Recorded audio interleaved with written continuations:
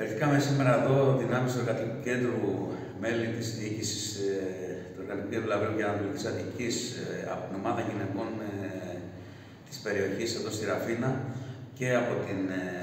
ομάδα γυναικών του Ζωγράφου στην κατασκήνωση του Δήμου Ζωγράφου εδώ στη Ραφίνα, η οποία έχουν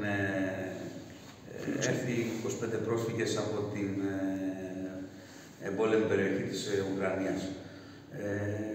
Ε, βρεθήκαμε εδώ για να δείξουμε την αλληλεγγύη μας πρώτα και κύρια στους, ε, στο λαό της περιοχής, ε, που σαν, στους λαούς γενικότερα ε, που και σε περίοδους ε, ειρήνης με τα μέτρα, με την ακρίβεια, με την φτώχεια και την ανεργία τραβάνε τα πάνδυνα, αλλά και σε περίοδους πολέμους γίνονται, πολέμων γίνονται πρόσφυγες και κυνηγούνται από, την, ε, από τα σπίτια τους. Η κατάσταση που βρήκαμε είναι μια κατάσταση η οποία ε, προφανώς ε, θέλει ε, και πρέπει να γίνουν εδώ και τώρα κάποιες παρεμβάσεις από τον κρατικό μηχανισμό για να μπορέσει το επόμενο διάστημα να, δεις, να ζήσουν αυτοί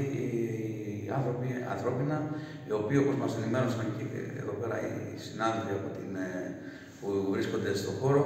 ε, το επόμενο διάστημα ε, θα μεγαλώσουν ήδη, περιμένουν να έρθουν ε, ε περίπου στους 10 το επόμενο διάστημα. Καλούμε και τους Δήμους ε, της περιοχής, και το Δήμο Ζωγράφου και το Δήμο της Ραφίνας εδώ, κυρίως στην περιφέρεια αλλά και τον κρατικό μηχανισμό, να, ε, να παρέμβουν άμεσα πάνω στα προβλήματα που έχουν οι συνάδελφοι που έχουν έρθει από την πόλεμη περιοχή και να δώσουν λύση εδώ και τώρα και όχι να βρεθούν στο έλεος ε, της κατάστασης ε, που, τους, ε, ε, που έχουν περιέλθει. Καλούμε επίσης τα, τα σωματεία και τους εργαζόμενους από όλη την περιοχή να δείξουν έβρα την αλλαγή τους. Το εργατικό κέντρο θα, ε, εκτός από τις παρεμβάσεις που θα κάνει και θα διεκδικήσει ε, συνθήκες ε,